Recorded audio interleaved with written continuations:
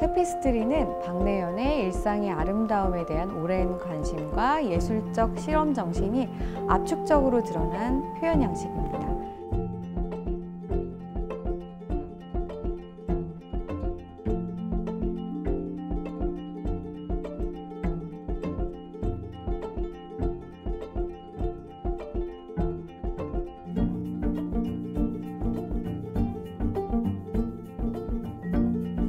테피스트리 제작 워크숍 직조 시간은 주변의 사물을 세심하게 관찰하고 일상의 아름다움을 발견해 표현함으로써 삶과 예술의 균형을 이루었던 박내연의 예술 세계를 이해하고 공감할 수 있도록 마련되었습니다.